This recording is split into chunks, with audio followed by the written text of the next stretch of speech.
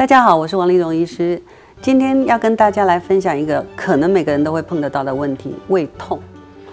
那我们知道，在人体上的疾病，它往往需要考虑三个因素：一个就是我们自己的因素，另外一个是呃微生物，比如说细菌啊、病毒这些因素；另外一个就是环境。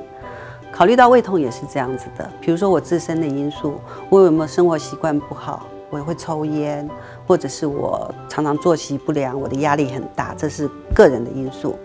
那另外致病菌的因素，在胃当中最常见的就是所谓的幽门杆菌，或者是有的人吃止痛药，它会去伤胃，这个是大家都很知道的。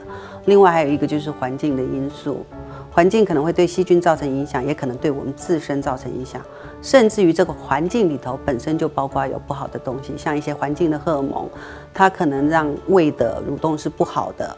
那所以胃酸会一直对细胞造成伤害，这样子。那既然知道说它的成因上有可能是这一些的话，在预防上我们自然就有的方向。比如说我自身的问题，情绪要放松，压力尽量减少，抽烟喝酒这些的习惯最好是不要有。那另外一个的话就是微生物方面，像幽门杆菌这个问题的话。它检查上可以有很多种检查方式，大家如果有胃的不舒服的话，可以去检查。那治疗上当然是有抗生素可以治疗了。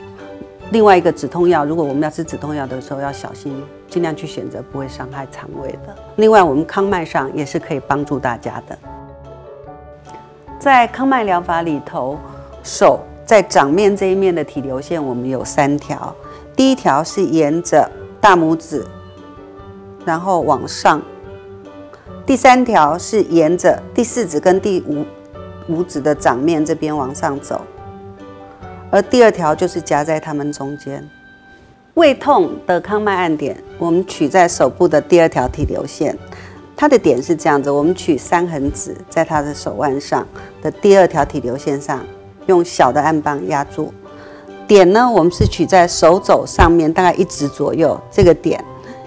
一样是按棒压住之后往上做推送的动作，那这样子大概三十到六十次，患者就会有改善。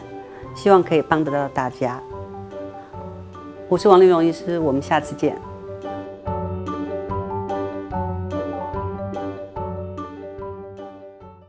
伤心的时候有我陪伴你，欢笑的时候与你同行，关心你的点点。声广播电。